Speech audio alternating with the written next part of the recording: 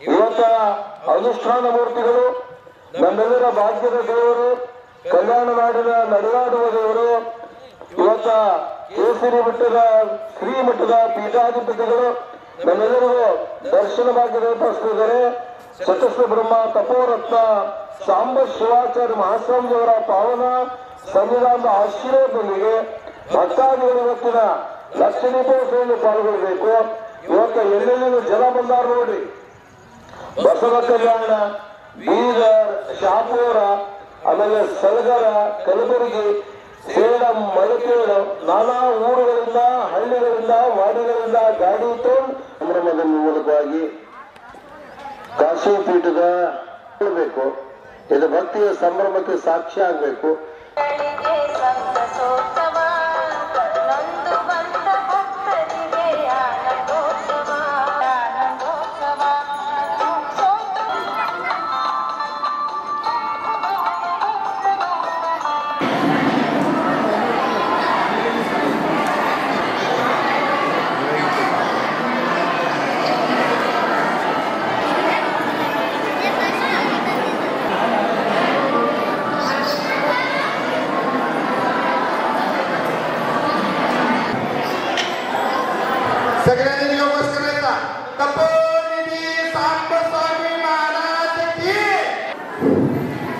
चला बघता चला आपल्याला जायचे आठ पालखी घेऊन जायच्या. जगत उरला म्हणजे